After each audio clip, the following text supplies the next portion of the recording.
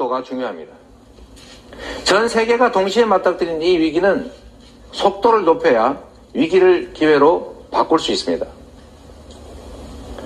두 번째, 바로 확산입니다. 확산.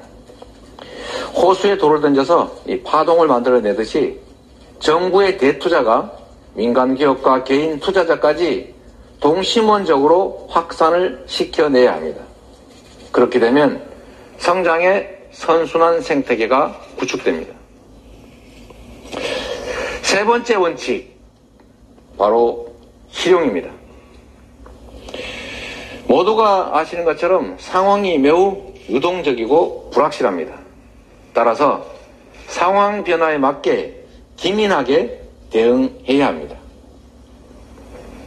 마지막, 바로 희망입니다.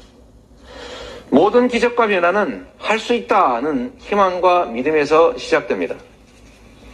우리는 할 수 있습니다. 그리고 해왔습니다. 경제개발 60년 성장 신화도 만들어냈습니다. 우리는 이미 세계적인 문화 강국의 반열에 들었습니다. 북한이라고 하는 평화 경제 투자 기회도 열려 있습니다. 이재명의 신경제는 세계 5강을 향한 성장의 신경제입니다. 여러분, 시간이 없습니다. 바로 지금이 대전환의 위기를 성장의 기회로 바꿀 수 있는 골든 타임입니다. 지금까지 전환적 공정 성장 중에서 전환 성장과 관련된 내용을 중심으로 말씀드렸습니다. 그 사람의 의견을 바꿔줄 확률이 얼마나 될까? 바뀐 의견을 실제로 실현해줄 능력은 있을까?